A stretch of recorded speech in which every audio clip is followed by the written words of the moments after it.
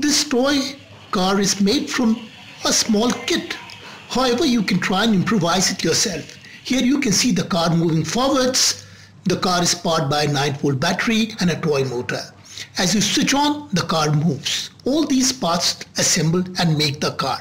Here you can see the 9 volt battery, the on off switch and the toy motor with the pulley.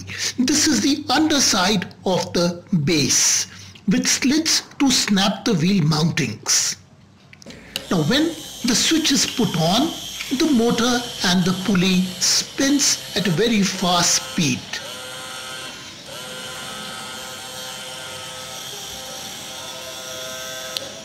On switching off, the motor stops. Here are two pairs of wheels, axles, a pulley, rubber band and their mountings. Press fit the pulley on the axle, place the rubber band on the pulley, then push a loose mounting on both sides of the axle. Finally, press fit the wheels on both ends of the axle.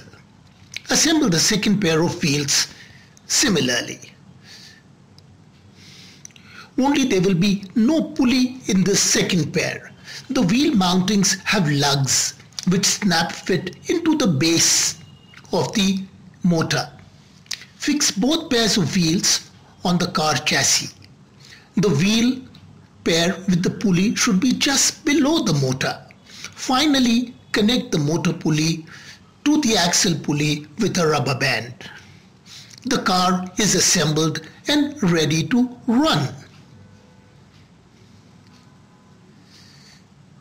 Now, on operating the switch, the motor will spin and the drive will be transmitted from the motor to the axle via the pulley rubber band. On keeping the car on the floor, it will move forwards. This is a delightful toy for all children